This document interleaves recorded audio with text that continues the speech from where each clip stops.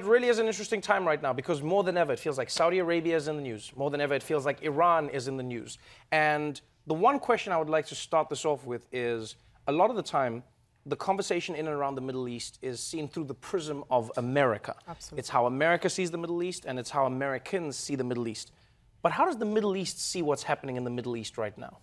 You know, you have a section at the moment, War in the Middle East, it's Persianal. Yes. Well, it is very personal, right? If you live in Beirut, if you live in Baghdad, if you live in Cairo, it's very personal what's going on at the moment. It involves uh, uprisings, it involves protests, it involves the killing of Qasem Soleimani, of course, mm-hmm. the head of the Iranian Quds Force, part of the Iranian Revolutionary Islamic Revolutionary Guards. Um, that strike was uh, ordered by President Trump, and I know that here in the U.S. The concern was, oh my God, President Trump is taking us to war. This strike is crazy. Right. But if you look at it from the Middle Eastern side, we kind of are already in constant upheaval and constant war. And for a lot of people in the region who are afraid of Iran's regional um, ambitions and its proxy militias that right. act in countries like Iraq and Lebanon and Syria, uh, the assassination of Qasem Soleimani was a welcome thing, and a lot of people uh, celebrated. So there's a debate, a political debate here about whether what Trump does is good or bad for the country, and the yes. Democrats are very critical of him. In the Middle East, we look at it: is this good for us or not? It is interesting because in the region, one thing that I think a lot of people don't realize is that no group, no country is homogenous. Because even within Iran, there were people who were mourning the death of Soleimani, and then there were those who were completely against what Iran was doing in retaliation. I mean, when the when the when the plane was shot down with the passengers, yeah. you know that was that was a big uprising against the Iranian government. This book, though, is really interesting because it really lays it out in in if I may be so bold as to say in a simple way. You know, where you talk about why Saudi Arabia and Iran began this proxy war and this, this Cold War between each other. What do you think is, is the inciting incident?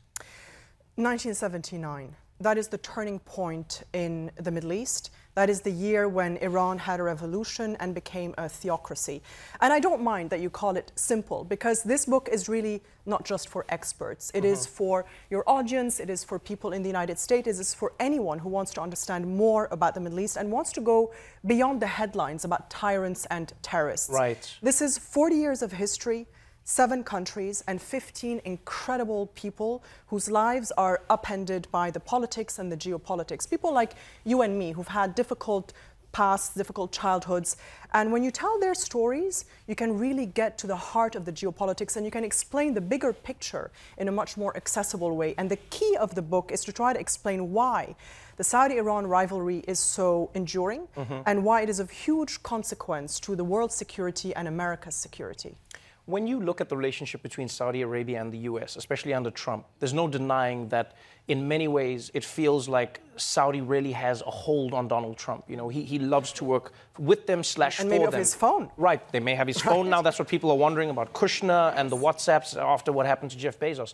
When you look at Saudi Arabia, especially under um, bin Salman, you have a ruler who is lauded on one end as being, you know, really reformer. reformer, the person who's changing the way things are in Saudi Arabia. Women can drive, and we're trying to become more liberal, and we're trying to just, you know, modernize the country. At the same time, though, there's the killing of journalists, and now it looks like there's the hacking of people how is he seen in the region and maybe even in Saudi? Do, do you have any insight into that? You know, I'll say two things. One, he is a reformer when it comes to social and cultural norms in the country. In, yes. Inside Saudi Arabia, women can drive, but some of them are also in jail because they campaigned for the driving. He wants the credit for allowing women to drive, not the activists.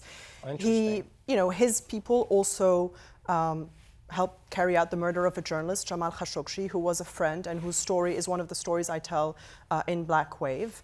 Um, but he's a reformer only to some extent, even within the country. You know, a lot of the traditional values are still there. I mm -hmm. think the conservative values and the very narrow understanding of his religion and of Islam have been untouched. So you could say that his reforms are very far reaching, but also smoke and mirrors. The second part of it is my theory is that Mohammed bin Salman and Saudi Arabia would actually like to be a little bit more like Iran. Whatever you think of Iran, they have a very successful regional strategy. Uh, they have proxy militias, they have very loyal allies, and they manage this very well. And they've been doing it for 40 years, and they are feared and respected. And that's something that Saudi Arabia has never quite managed, despite all the money that it throws at its allies. Right. It doesn't buy the same kind of loyalty. So I think Mohammed bin Salman wants to be a little more like the tough guy in the region, a little bit more like Iran, a little bit more like Qasem Soleimani. And I know that that's going to upset a lot of people in both countries. But I pull no punches. I really, I'm an equal opportunity critic. And I think both countries have done a lot of damage in the Middle East. It's, it, it really is a, a fascinating look at how the Middle East came to be in many ways.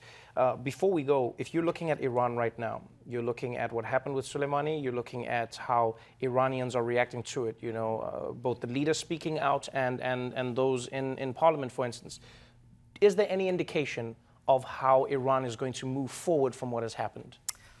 I wrote about 40 years of history here. It took me 40 years to figure out what had happened in 1979. So I wow. hope you'll invite me back on your show in 40 years from now. Wow. But what I can tell you um, is that I think there's something coming undone in the region. 40 years after 1979, people are protesting, not only in Iran, but also in Iraq and in my own country of Lebanon. People are protesting corruption, they're protesting uh, mismanagement of their countries, of their economies. They want a different future. They want what everybody wants. They want hope, they want dignity, they want justice. And I think that Iranians want that too. And I think that we are capable in the region of getting there without outside help. I think we can do it. It costs a lot of lives, but I think the younger generation is ready to let go of this very difficult past and forge a different uh, path forward. Well, here's to hoping you're right. Thank you so much for being Thank on the show. Black Wave goes on sale January 28th and is available for pre-order right now. Kim Ghattas, everybody.